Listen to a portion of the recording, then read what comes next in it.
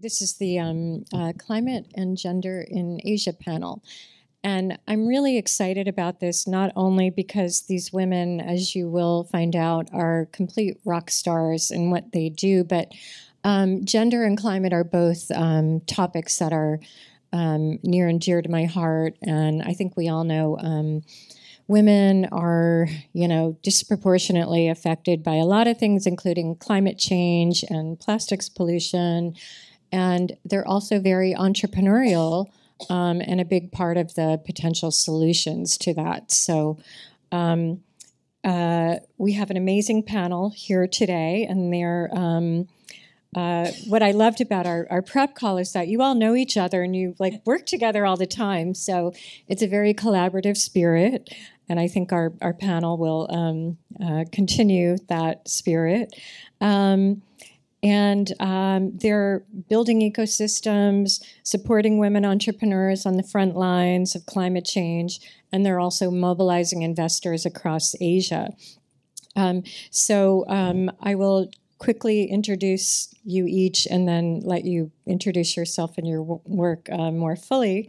So, starting from um, my left, uh, we have Priya Thachadi, who is um, co founder and chairman of Villgro Philippines um, Regula Schegg, who is the founding partner with Circulate Capital um, in Singapore, and Ayaka Matsuno, um, who leads the Gender Investment and Innovation Program at Sasakawa Peace Foundation in Japan. Let me know if I mispronounce anything.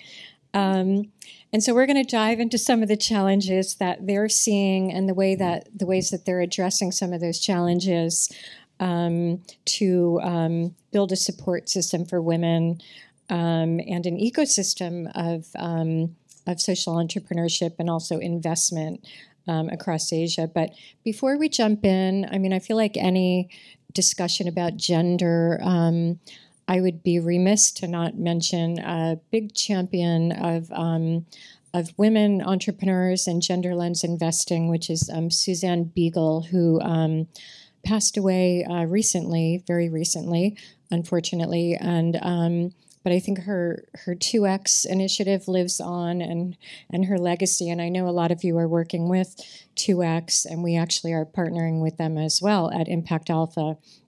Just to say a word about ImpactAlpha, by the way, um, I, am editorial director there, and I lead our climate coverage, and we're um, a media site and a newsletter um, that covers the impact investing world um, globally and across um, all sorts of sectors. So um, I love this kind of um, cross sectoral, intersectional um, type of discussion. So, with that, why don't you each introduce yourself? and your work and maybe kind of situate it in which regions of Asia that you're you're working in.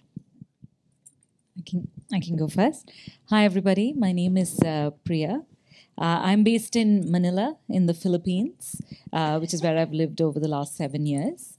Uh, I founded or co-founded an incubator that supports um, early stage entrepreneurs who are addressing, you know, social and climate issues. Um, over the last three years, we've really thought about and very intentionally worked on adding uh, a gender lens, or you know, we call ourselves a gender smart incubator and that work has led to the creation of many other sort of initiatives. But i, I would say you know i describe myself as an ecosystem builder uh, really focused on the missing middle uh, sort of helping entrepreneurs cross that valley of death.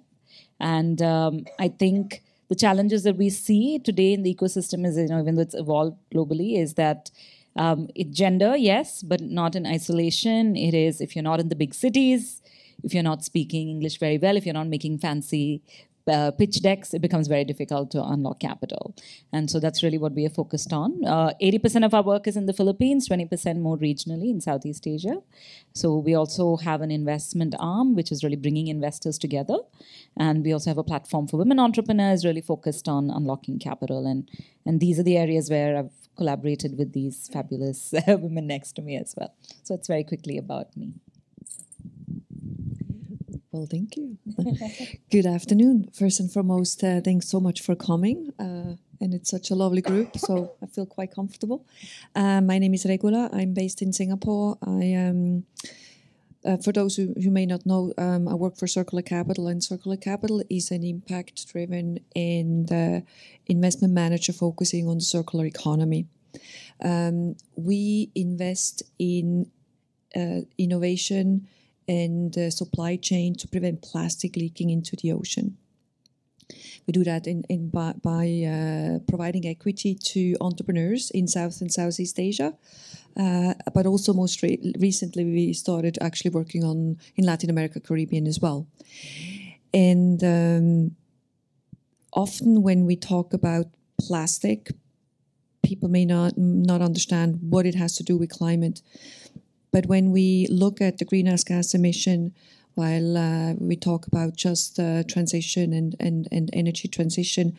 But actually, the, the production and consumption of goods uh, makes up 49% uh, of the entire footprint we have on, on, on the planet.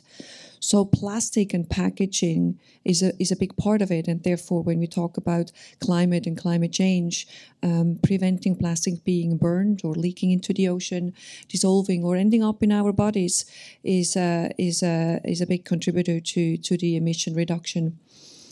Now, everybody also usually associates environmental aspects to, to investing in, in, in ocean plastic prevention, but there actually is also a big social aspect to it, and the S is really important.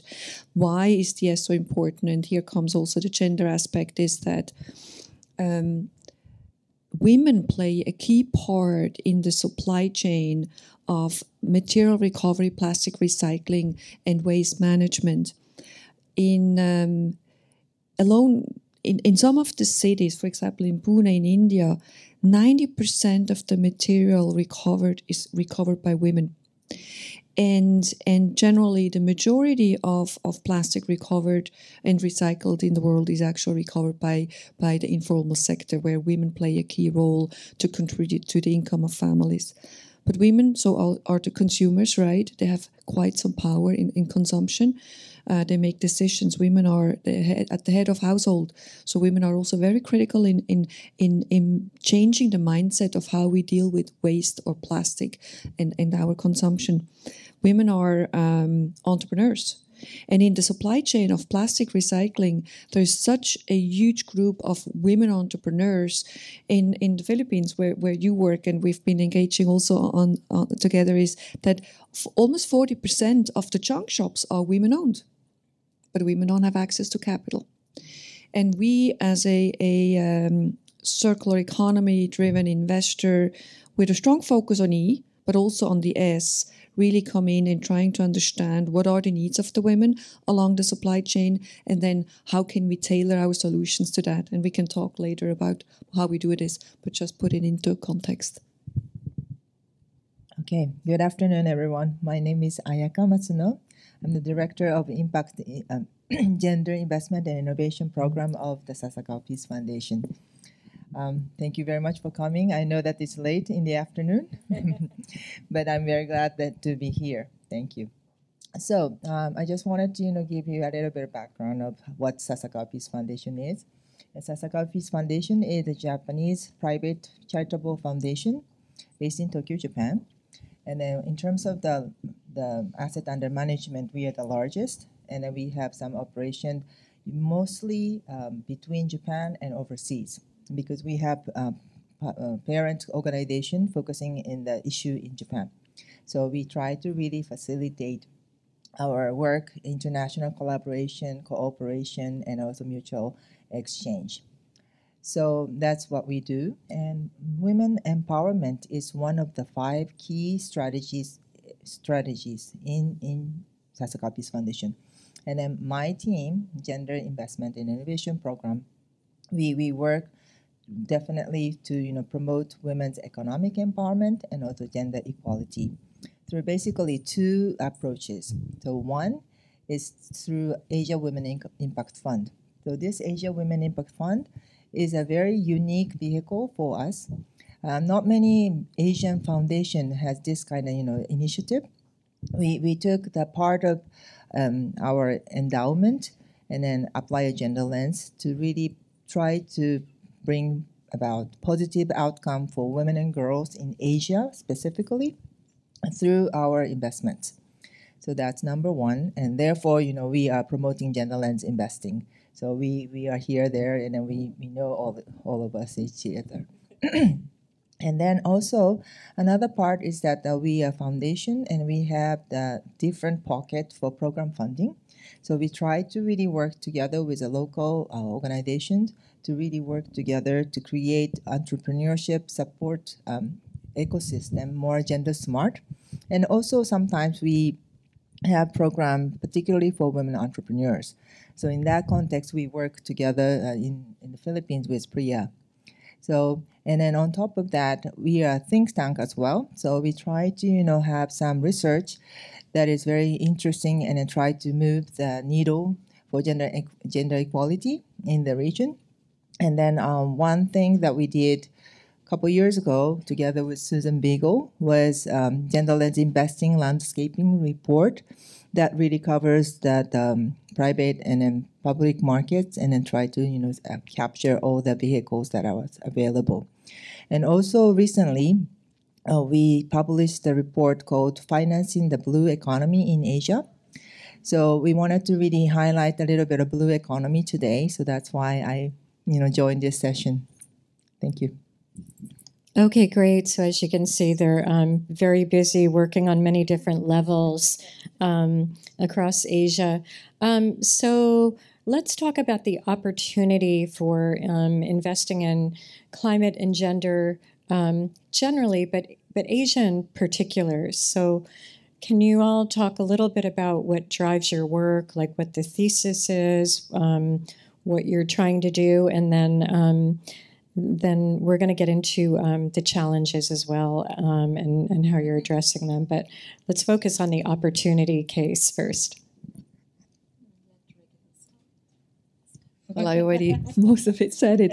Um, I mean, we see the opportunity really by by enabling the women within the plastic recycling supply chain to get um, access to capital, to get access to to um, uh, leadership opportunities. So I think that is really key for us because, as I mentioned before, the women play a key role in it because they, they either collect the material, their household head of households, uh, the entrepreneurs. In a lot of the businesses we're investing in, um, these are all family businesses, and the women often play a key part in it. They may not be the CEO, but they can be, or you know, but they play a key part in building those businesses and attracting for additional women. Um, what we see in the in the industry is the informal sector being obviously as always most vulnerable where the women play a key role.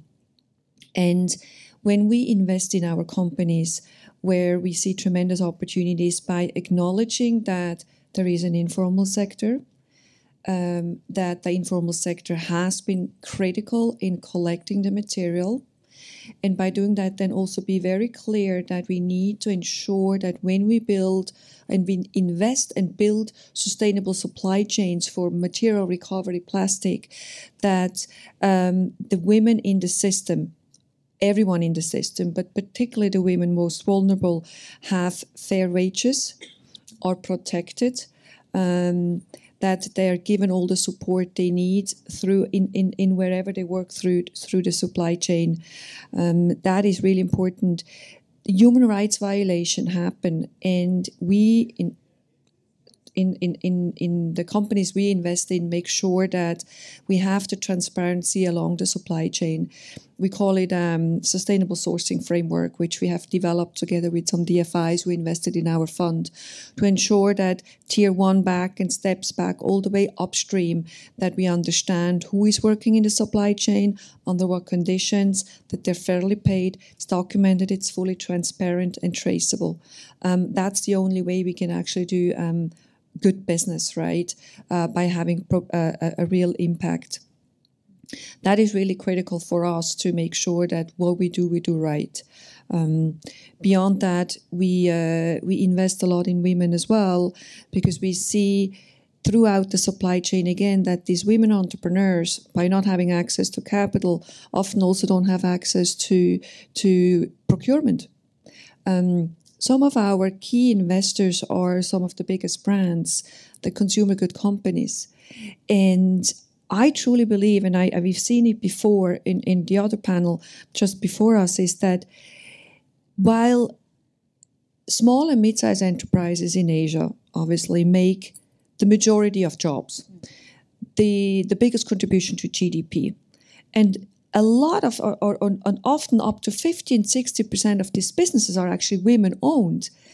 They actually have hardly any access to procurement neither in corporations nor in the government. In Indonesia, 64% of small and mid-sized enterprises are women owned, but they have 0.25% of the, the government procurement.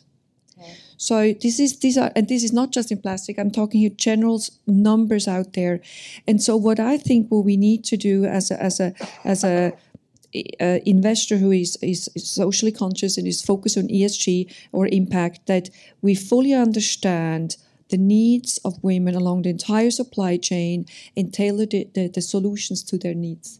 And exactly. And in, and in our case, it is as simple as making sure that the women who, who work in the different along the supply chain have access to, to, to toilets or that we know where their children are when they work, right? And, and these are all the very simple steps which I think are can be implemented to ensure that the women um, are participating uh, properly within the supply chain.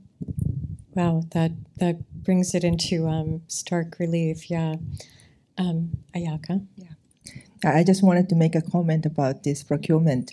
So I am uh, representing Japan for W20, which is uh, um, D- G20 Civil Engagement Group. So each year we have this uh, communique, basically trying to really put the, the women's issues, concerns, and then try to really do the lobby for G20 Leaders Declaration. So each year we mention about this procurement, gender responsible procurement program. That's something that we need to have in G20 countries as well. So you pointed out a very important point. So going back to these um, opportunities, I have three opportunities, and I'm going to be a little bit high level. Bear with me. But um, so impact investing in general is very much growing, not only globally, but then in, in Asia and also in Japan, finally. so the, the giant or the tiger has woken up.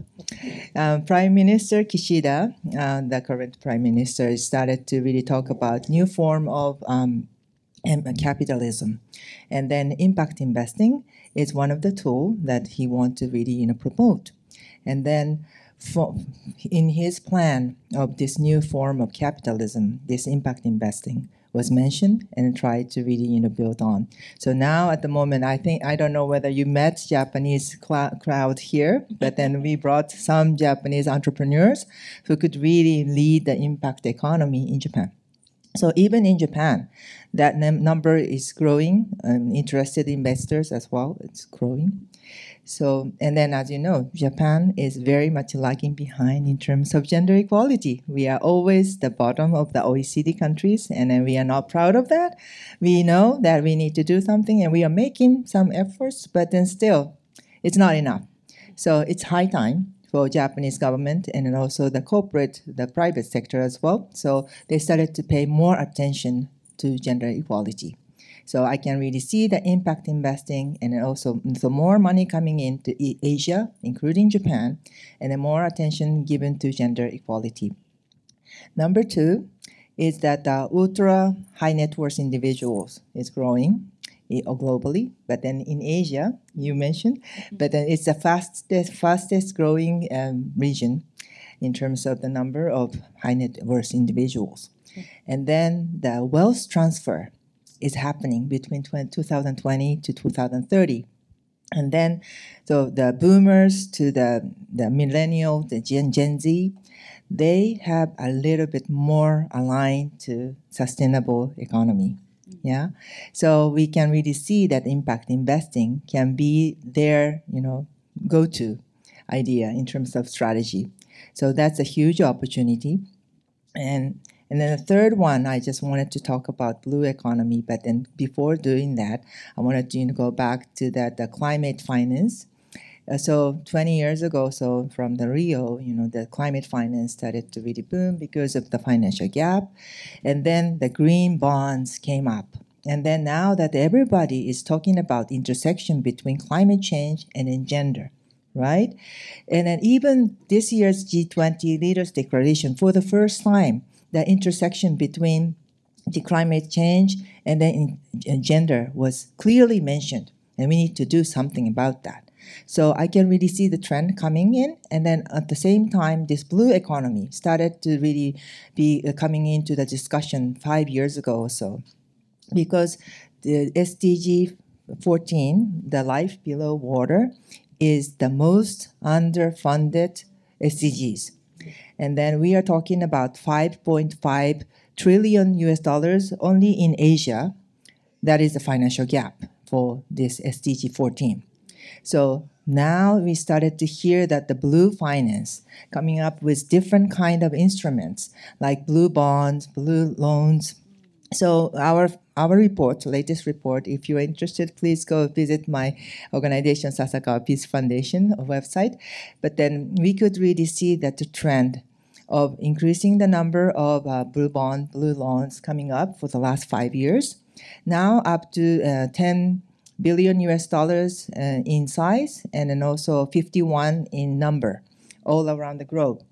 And then 53% of them are coming from Asia because Asia is so much depending on blue economy. Yeah, so I can really see that the soon enough, this gender concerns will be discussed in the context of blue economy as well. So this is an opportunity for us. So I wanted to highlight three opportunities. And you had a couple of opportunities in your um, report, right, where there were blue bonds looking at gender and um, blue economy. Yes, yes. So actually, at this point, the investors cannot really think of gender uh, consideration in the blue bond because it's a little bit too much. They're doing this and doing that, and then adding on to the gender equality into that picture. But then, just like you know, uh, Regula mentioned, Blue economy is very much women's business as well, and especially informal economy, formal economy. You know, they might be 20% of the fisheries workforce, only 20%. But when we are talking about the second layer, which is the back end of the fishing industry, you know, all the fish processing and then aquaculture and all those things are done by women.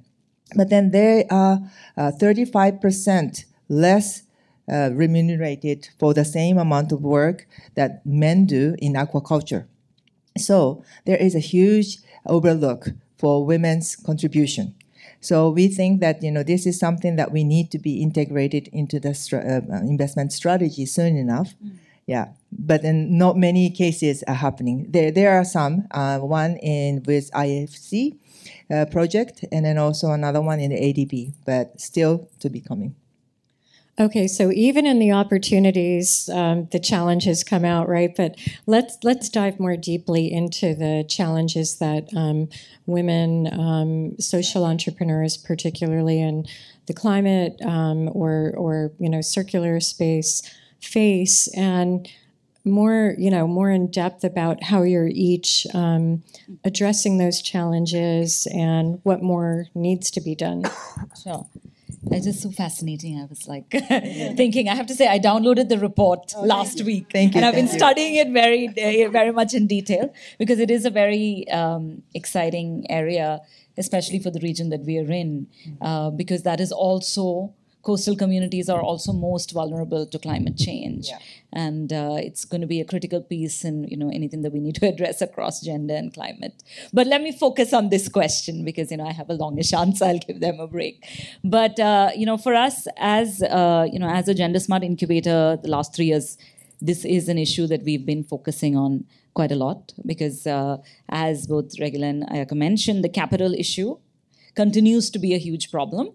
I don't think it's a problem only for women entrepreneurs. It is a problem at the stage, but obviously, you know, women and other genders, as well as when you look at the other factors like geography, socioeconomic class, whether you studied abroad or not, all of these factors very critically effective, you know, in entrepreneurs' ability to fundraise. And so we've actually also done a small research, tiny, uh, you know, in, with support from the Sasakawa Peace Foundation very recently on the gender financing gap in the Philippines because we have all these stories and we're like, okay, we have to have more data. so there are a few pieces that really stood out. And of course, the number one, the most common one I think all of us are aware of is the lack of networks and access to information. Information is so key. Now, unless you're in a big city and in you know going to the startup events or people in your social media network are posting these opportunities it's very very unlikely that you'll actually find out even who's out there what is out there. So i think lack of you know access to the information and then if you got the information lack of access to the networks of getting to the investors continues to be a huge problem. But we also kind of surfaced a few more, which you know the women entrepreneurs kind of mentioned. Um, I think the second very interesting piece that you know we had not really considered is around. So there are three issues I would say. I would put it as. Uh, mismatch of fit, need, and perceptions. So let me start with perceptions because it's a very interesting piece. Is that most women entrepreneurs that we spoke to in this research, and we had about 100, uh, identified that they actually postpone fundraising as much as they can. They prefer to grow organically first and borrow from friends and family, which sounds okay, but friends and family also don't know the risks of you know startup businesses, so it can be quite tricky, especially in the cultural settings, you know, uh, as in Southeast Asia. So that is what their preference is. Uh, and they uh, try to push out fundraising as much. And there are two reasons for it. One is that when, the, and maybe it, it is all of us as well. When they close their eyes and think about who's a successful entrepreneur, they're not really thinking of any women entrepreneurs, definitely not someone who looks like them. So that was one. So the the second piece of the perception was that unless like you studied abroad or had like, especially in the Philippines, to large extent in Indonesia as well, your family connections really is what unlocks capital. And so if these two categories you didn't fit into, then it becomes really challenging of how do I navigate fundraising. So the perceptions in the minds of the women entrepreneurs of who can actually fundraise, who can access financing, continues to be a huge barrier. Of course, much of it is true. Some of it is also that, of course, negative stories like percolate more in the ecosystem than the positive ones, and we don't actually tell many of these stories uh, as often as we should. So I think that has been a big case. The third piece, which is the fit and the need, has been that we discovered that a lot of the financing needed is actually smaller ticket sizes and tailored and appropriate. So, tailored in the sense to whatever their business is based on their cash flow cycles, revenue based financing, those type of things don't exist. Appropriate in the sense do you actually need equity investment? Can you actually provide these market returns? Most of them cannot. So, what other financing options are there? And I think the narrative in the investment circles is really about hypergrowth, venture capital primarily. And 90% of the entrepreneurs actually don't need, will not need that or at least don't need it immediately. Maybe they will figure out if they need it later on. But actually, there is not many other conversations of any other forms of capital. And so that becomes quite limiting. And then, of course, the availability of anybody who can do anything tailored. There's very few people. So that's really kind of the big issues that they're facing. I think there's one piece I want to say. There are two pieces, both on the investor side. Of course, this is a conference of impact investors. I don't think anybody believes that they are gender biased. Everybody believes that we are gender blind, which is the case with most investors that we speak to. Everyone is gender blind, but somehow we still have this problem of not enough uh, women and you know diverse entrepreneurs getting cap- capital. But there is an issue of I think an investors literacy and also an investment literacy for women entrepreneurs. Many times it's packaged as financial literacy for women. I think that's wrong because actually they're very good at with the money at home, in their business, helping the family. But what actually they're lacking is investments literacy. They don't know how to navigate, they don't know what type of instrument is appropriate for them. So that's the piece that we have to address. And on the investor side, uh, the investor literacy really comes from majority of the deals if you look at in southeast asia. Um, and you know i've spoken to about 50 investors because most it's a small community we know. Is the primary way that they get the deal is through referrals or word of mouth. Now that and then there therein where you know the bias sort of comes in right? Like because that's how investors we have herd mentality. Like if you tell me if Regula tells me look at this company i will jump into it and trust it um, and you know go with it. And so it depends on who we are talking to. And so the investors literacy where we all believe we are gender blind um, i think we also have to challenge that. And you know there are a lot of amazing conversations happening But I think to see the shift, I think you made a very important point. How many lenses do we add? And that is sometimes also what we do is that everybody, of course, wants to fund more female entrepreneurs or diverse entrepreneurs. But they're like, okay, but can I formally adopt this? oh then i'm like limiting you know myself and in a young ecosystem where deals for certain types of capital are small that becomes a challenge on the investor side so these are some of the big sort of issues that we are facing on the ground I just wanted to, you know, agree everything that she said. That's all the challenge that we face. Another one on top of that, I just wanted to, you know, highlight that um, there are now the hype of women entrepreneurs Yes. globally. There are so many programs that are mushrooming up, I have to say, but then not necessarily working together and collaborating. And then, you know, even if we say women entrepreneurs, we have we can really think about different segment of women entrepreneurs and then different business models, or that the social enterprise who doesn't need to have to scale too much, or the uni- unicorn type, all under the umbrella of women entrepreneurs, and everybody wants to have the program. So I find that on the ground, some women entrepreneurs just become a bunny and hop, hop, hop to one accelerator to another. Seriously. But then that's not going to help them, unfortunately. We, we, everybody has good intention. Everybody think that this is the way to support them. But at the end of the day, we need to, you know, kind of, you know, line up in the chain of uh, support. Yeah. and then try to really be um, helpful as possible from the start, uh, initial stage to um, become sustainable right? So I I see that this is a kind of silo type of um, programming at the ecosystem level is a challenge. But I think it's not just for women, right? Generally, all Mm, yeah. these acceleration programs or th- that, that a lot of the entrepreneurs hop from one to the next. Yeah. Um, and and actually then really leapfrogging to the next level is very difficult and and and then never grow to the level where we could invest. Um, we are investing in in uh, mid-sized enterprises, growth companies. Um, where we see because we when we look at the sheer volume of material we need to handle, particularly in Asia or, or also in Latin America, while small startups or startups are important for the future pipeline right now we have a big issue at hand and so we need to invest in companies which have the capability to actually go big right and fast um, so when we look at obviously when we look at the challenges, yes, I, I agree with everything you both said. For us, it is generally also the biggest challenge is capital. Um, we have been raising, I would say, rather successfully, uh, almost two hundred fifty million dollars in the last four years. Um, but when we look at the overall industry we're in, and and and we need billions of dollars alone in Asia to stem the, the, the tide of the waste going into the ocean. And so it's not women only have problems getting capital. It's generally the industry which doesn't get the capital because the the traditional financial industry has not seen it as an investment opportunity. Um, and uh, and and and I- would say it's it's it's it's possibly stigmatized. It's not sexy. It is waste right? So it has not been seen as value but that is changing right now. But when we look at, okay, we have a general understanding, there's a huge capital gap in the region in Asia for the industry we want to build, but then it gets even worse for women exactly in the industry.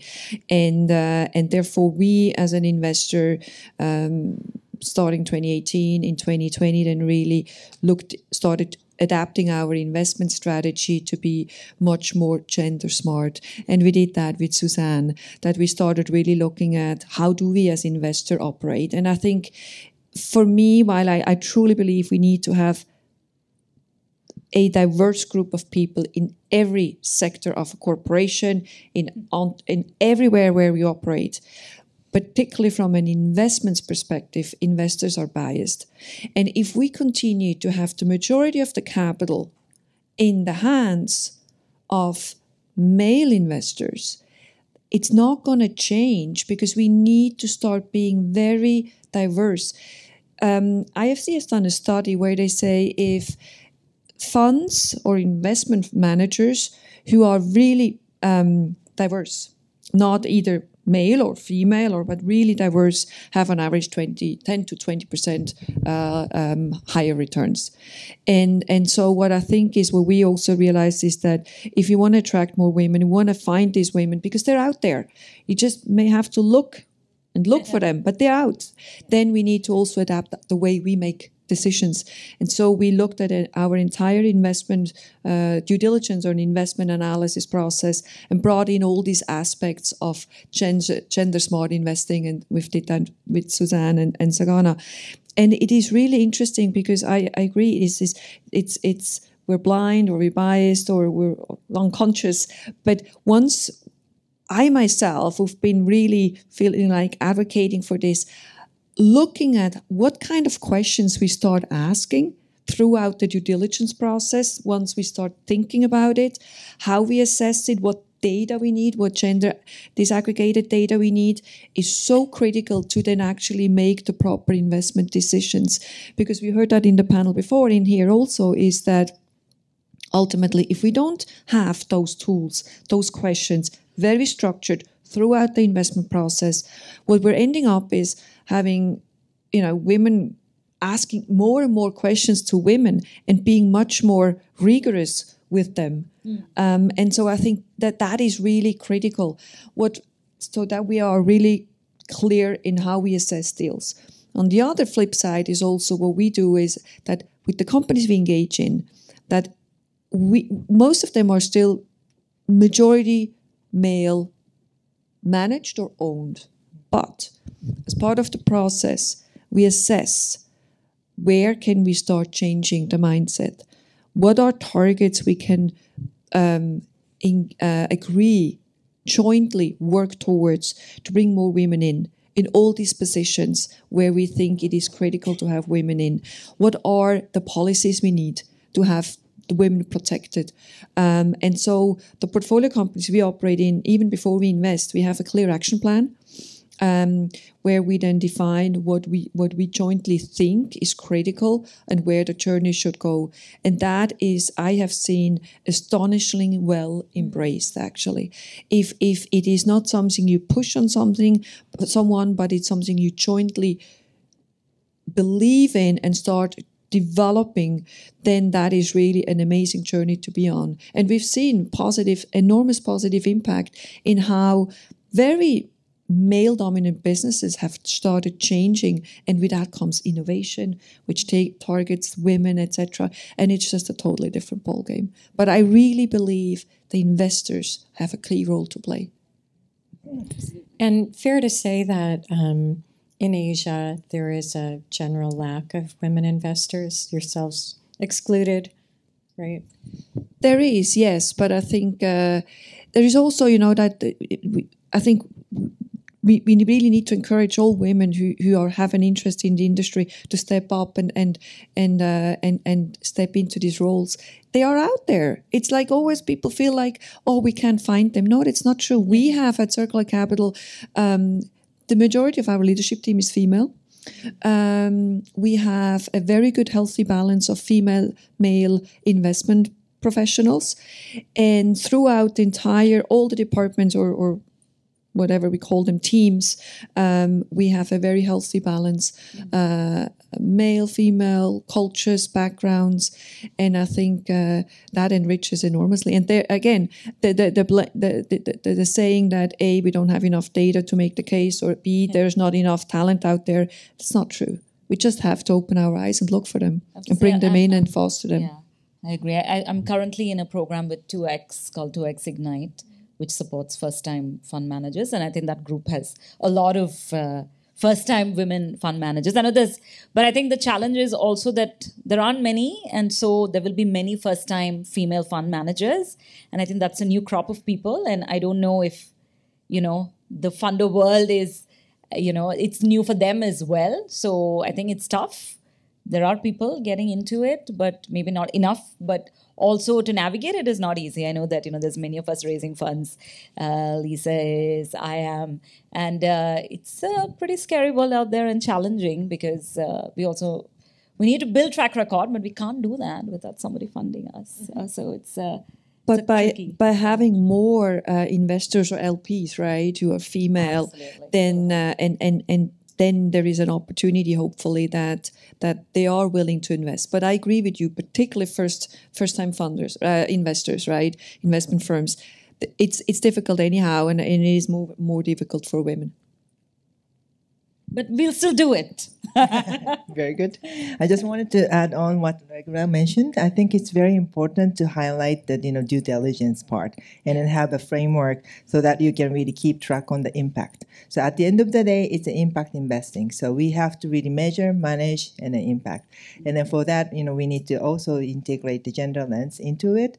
So our fund, Asia Women Impact Fund, we recently um, published the first impact measurement and management framework.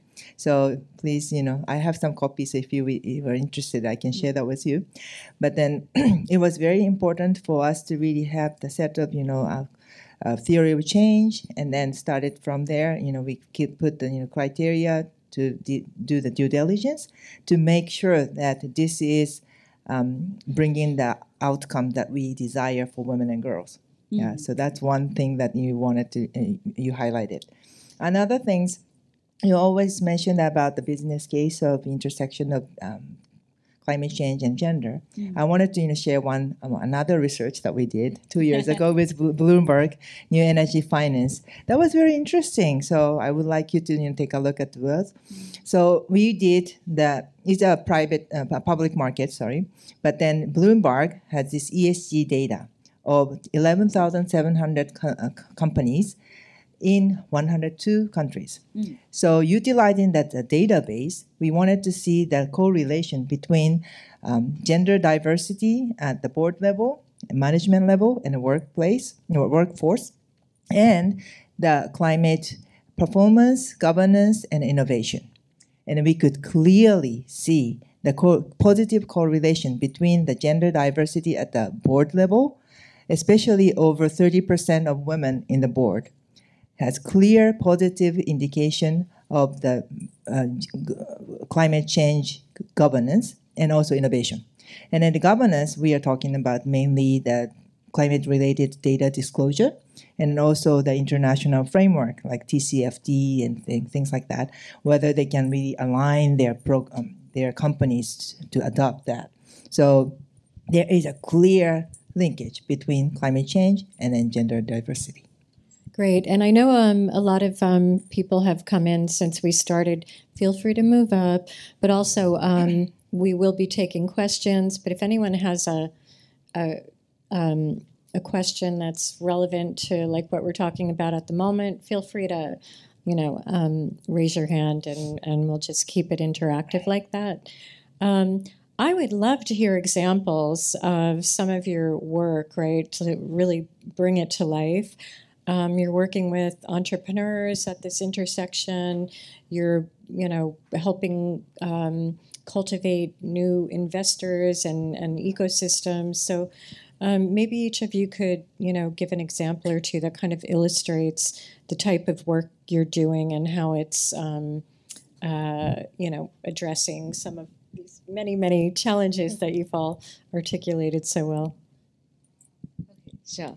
I think yes, collaboration. That's the key. We're not going to get anywhere without it, and uh, I think and it it's um very nice to aspire towards it, but actually doing it is requires a lot of blood, sweat, and tears because it's not easy. Um, because you know, as organizations, I think as uh, the plenary speaker was saying, right, we're all focused on scaling our own work, but we have to scale what works, and to scale what works or to even figure out what works really requires a lot of collaboration. And I think for us, and I think also it's kind of difficult to talk about Asia as a whole. It's it's too broad and diverse uh, because the Indian ecosystem is far more mature, for example, than Southeast Asia, where we are at least 10 years behind. So I think like difficult to talk about. But like let me focus on Southeast Asia and what we're doing.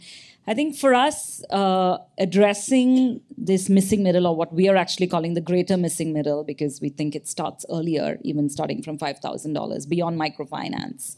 Um, because microfinance funds women uh, mostly, but what about, I don't know what happens in the next level because once we go to the next level, then those numbers significantly drop. So that's what we're trying to focus. And uh, the one way that we have been doing it is really uh, building a co-investment platform.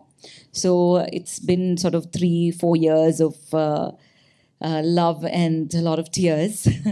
uh, and uh, it's really the reason that you know I felt that it was urgent for us in the part of the world that we are in, in the Philippines and broadly in that region, is that the risk appetite of the investors that existed.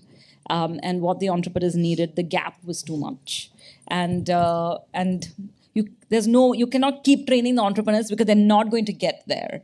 So there's something else that we needed to create which is really alternate pools of capital. And in a young ecosystem where uh, these examples don't exist and especially impact investment like philanthropy and then tech and you know commercial investment exists but it's in between you know it took me three years of many conversations to like even for us to like agree on like what it means um, and so what we've done is actually bring together about 20 investors on a platform uh, and very painfully doing you know co-investment deal by deal over the last few years. So i have so out of the 20 about 8 are quite active. And so we've done a few uh, completely tailored flexible financing instruments.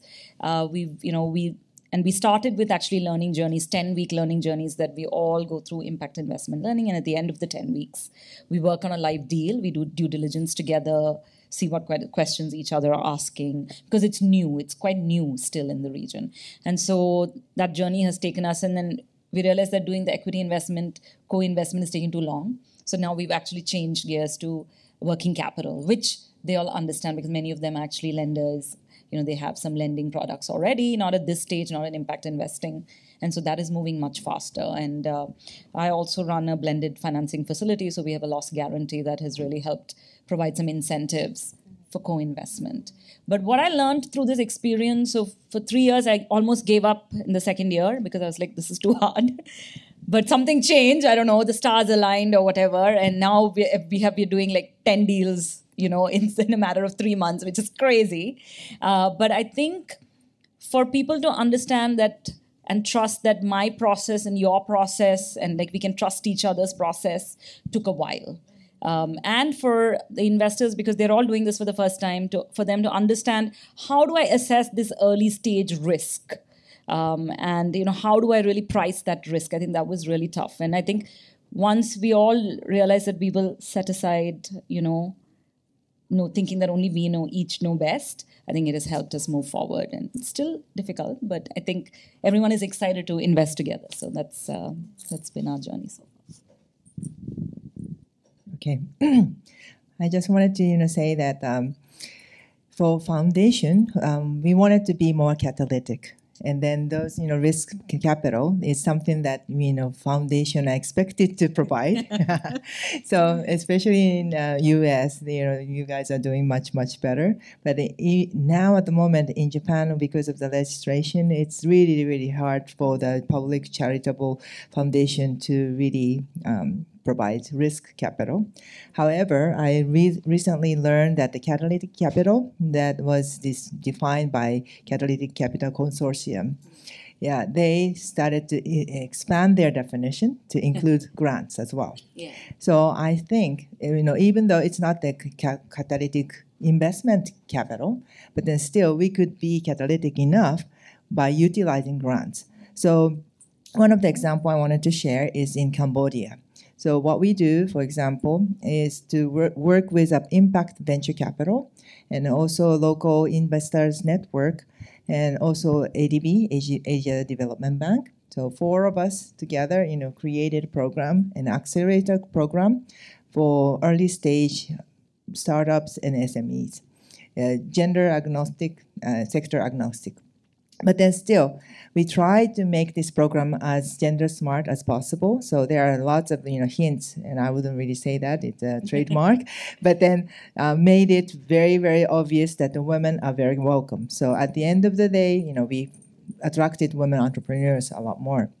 So that in that program, we have 20 cohort members, and then just narrowing down to seven, to four, to two. And then through that uh, business incuba- uh, business acceleration program, we provide the grant $5,000, $10,000, and then $15,000. So that by the end of the you know, last two remaining, they could really have 30000 And by then, we are hoping that you know, they could be investment ready. So the first time around in Cambodia, we did that. It's called Chennai Accelerator Program. We are actually very successful. So out of the four remaining, three have already attracted an investment from outside, uh, amounting 300,000 US dollars. So that was a significant um, success for us.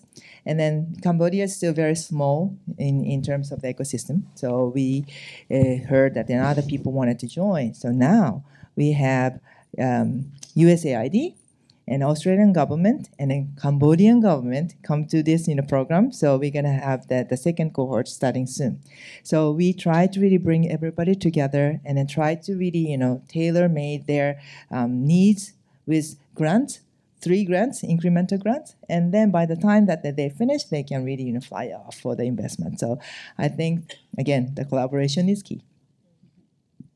That's fantastic. And, and Regula, you can answer as you will, but I am curious. I mean, because you're working in the informal economy and you want to um, invest in models that are inclusive but can scale, like what does that look like? And maybe you can, you know, talk about some of the um, uh, informal sector kind of entrepreneurs that you've invested in.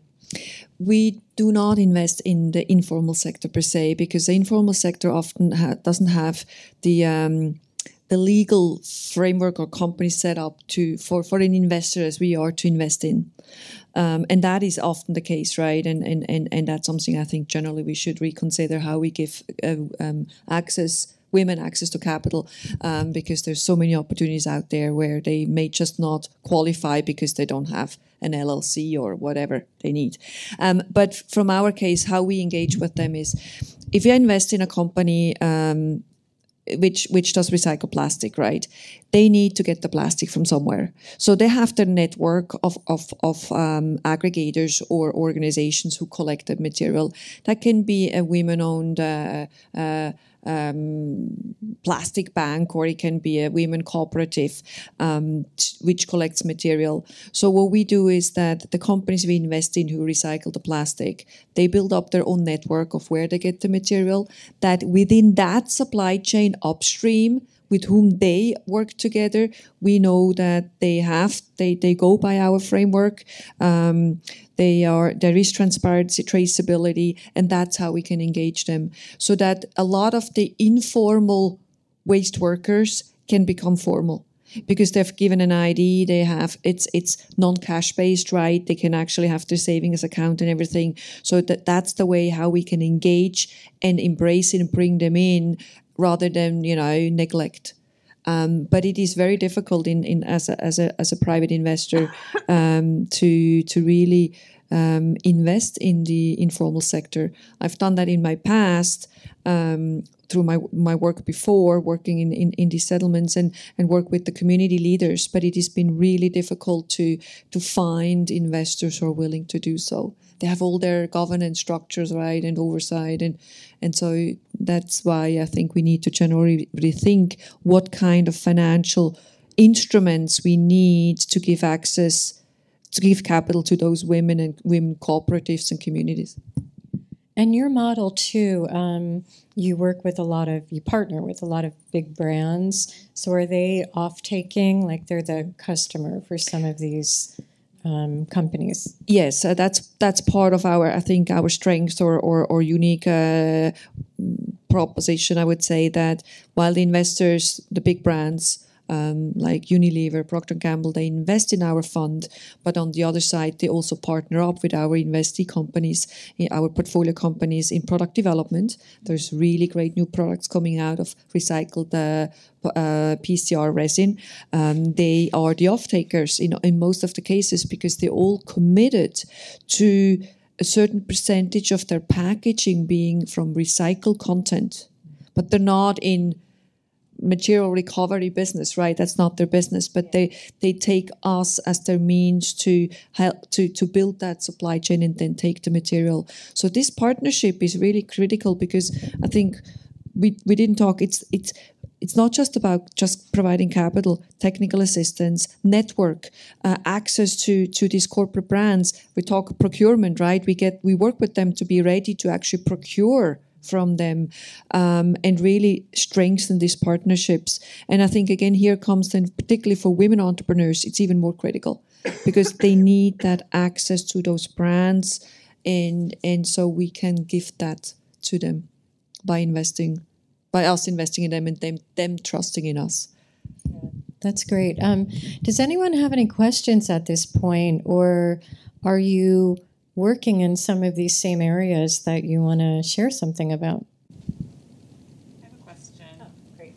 Um, my name is Lila. I'm speaking not from my current role, which is at RMI, but from previous roles and things I've seen.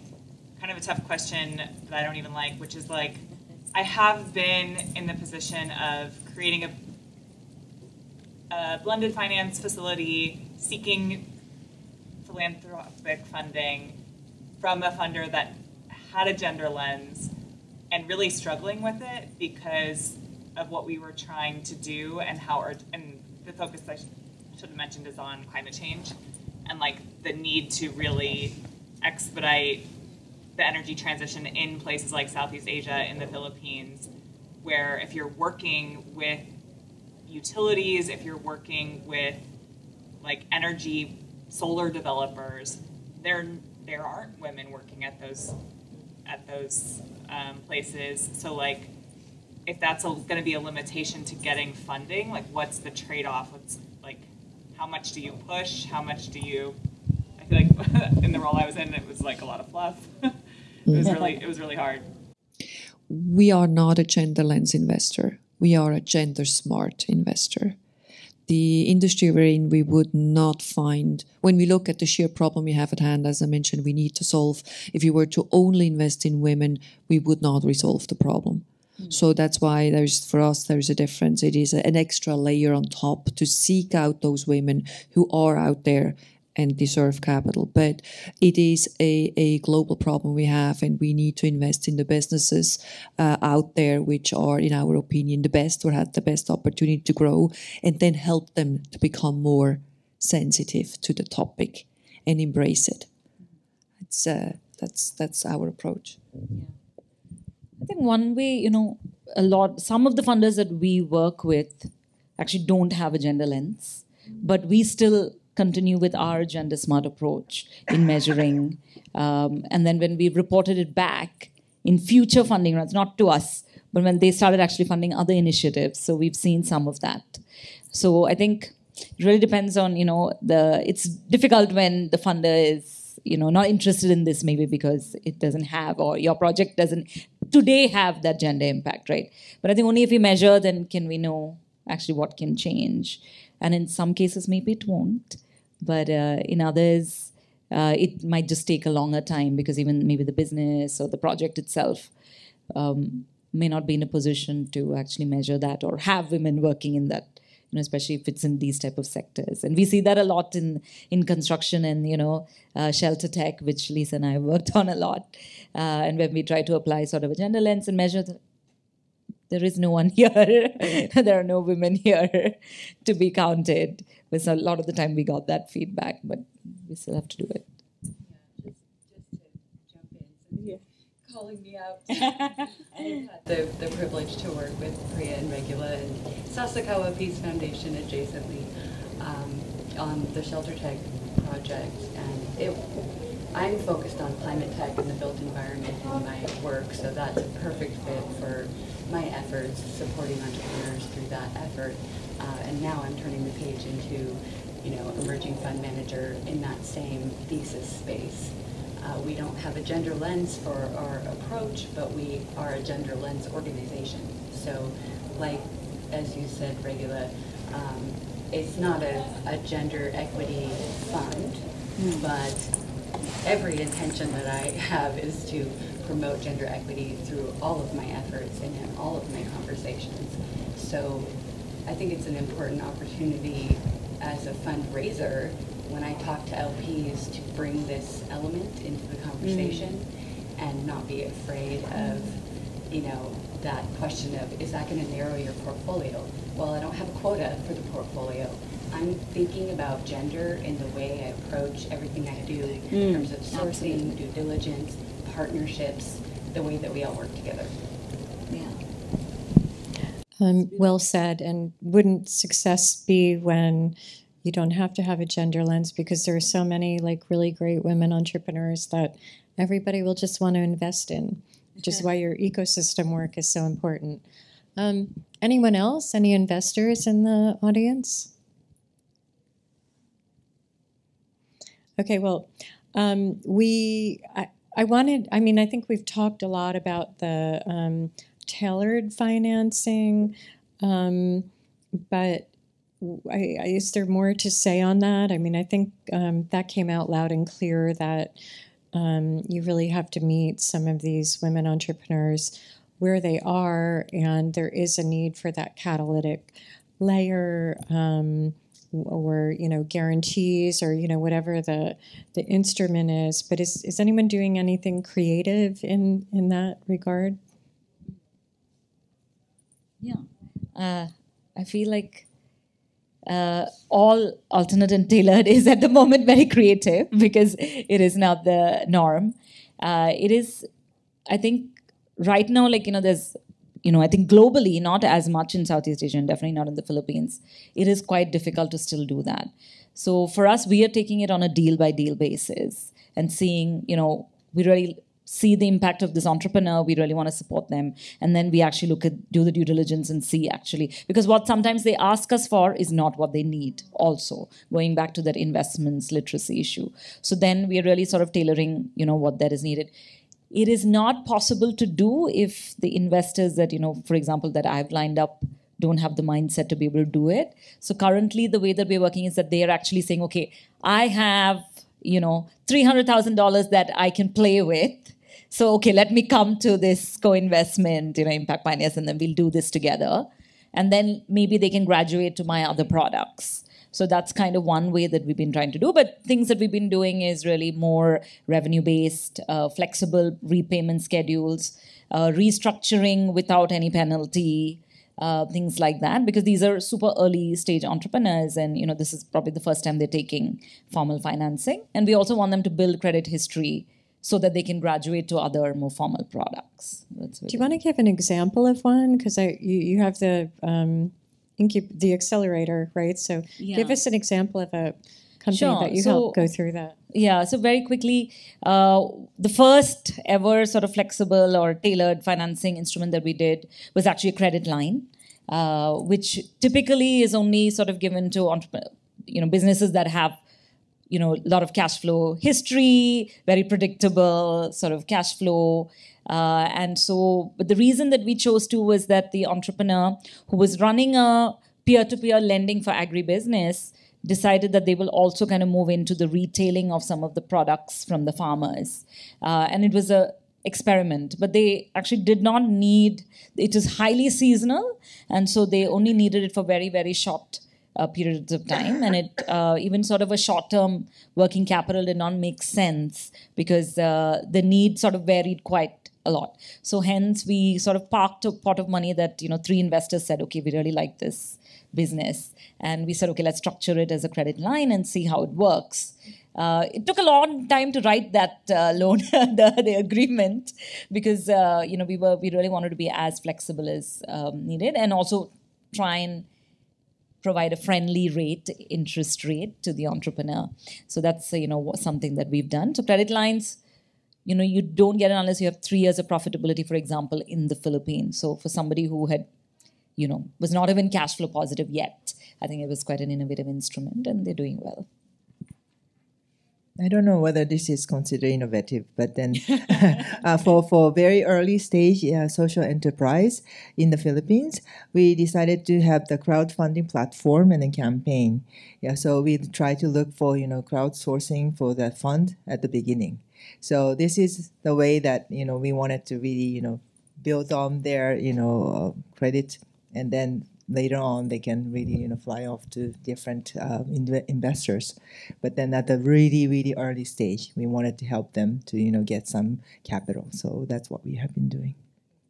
And I think we were getting the one minute mark. So we're. Can I just ask the panelists for like really quick? Let's treat it like a lightning round. Um, kind of closing remarks. Anything you want to leave the audience with, like your one, one or two um, big ideas or calls to action.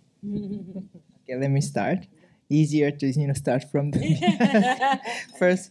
So I, wanted to say three things. The first is that you know, we need to change the narrative that in applying the gender lens is always not a cost. It's the opening door and then new opportunities. Everybody will talk about, this, for example, GX, you know, green transformation. Everybody was so hyped up and then really, you know, looking the forward-looking innovation and then growth. But then gender lens is something like you know add-on, something that you need to really look into, and then some, something that is limiting the portfolio, etc. But then we need to change the narrative. This really opens up the you know different doors.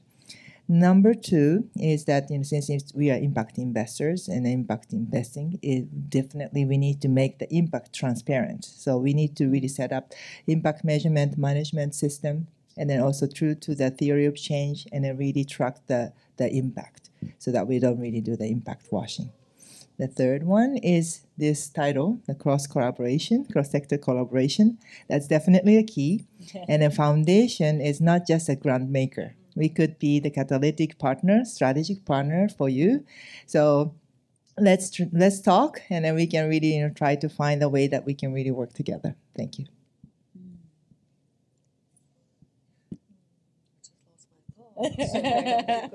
sure. So I feel like I, am next year when I come to SOCAP, I'm going to come with a placard which will say "Fund Southeast Asia," and I'm I'm going to be like that, you know, that guy with the placard, right? Like who is. Uh, viral on social media. Maybe I should do that tomorrow. I don't know. so that's my first call. I think uh, Southeast Asia is a very young ecosystem, and sometimes in most of the global conferences I'm going, I'm like hunting for the people. So thank you to everybody who came here, uh, you know, to figure out who's interested in the region. So I think we are young and growing, growing pretty fast. Uh, it is the fastest growing economies globally, but somehow in the impact investment conferences, we're not as sexy. Uh, so I'm going to figure out how to make us sexy as we go. Uh, but I think uh, there may be a lot of donor and funder fatigue because a lot of these ecosystem building initiatives have already been tried in India. It's already been tried in Latin America and Africa. Now everybody wants the next new thing. But actually, we don't need anything new. We just need to build the foundation. And that's what we really need support on. So that's my first call. I, I don't know. The, probably this needs to be said in the plenary with like thousands of people, but let's say it anyway. Uh, I think the second piece is that I think uh, we have to a lot of the times we have a global and a regional approach, but I think it's very important to work with local partners. And this was the message in the plenary as well. Because we are on the ground, we understand there's a huge cost to due diligence. And I think we can help mitigate that as people on the ground because, you know, we're already probably working with the pipeline. And somehow, uh, in the pandemic, it happened a lot more because no one could fly in. But now we're back to flying in and flying out. So I think, uh, and you know, sometimes we miss the opportunity for collaboration, which is right in front of us. So I think uh, we have to work very actively. These are very young and uh, growing, but also difficult markets. Uh, for impact investing. We have not had any exits yet in Southeast Asia. We're all looking for them. So we have to going to have to figure this out together. There's no other way forward. So I think we really have to collaborate uh, radically um, and uh, there's a lot to be learned from other ecosystems that we can adapt, but we don't have to take that long to make learn those lessons. So I hope that you know we can really share uh, and not be in our silos as much, because I think that's the only way that we're going to be able to move forward.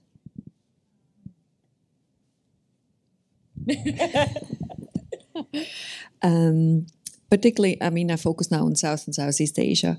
Um, I mentioned in the beginning that the small and or micro, small and mid-sized enterprises are the backbone of the economy, uh, not just in South and Southeast Asia, but everywhere.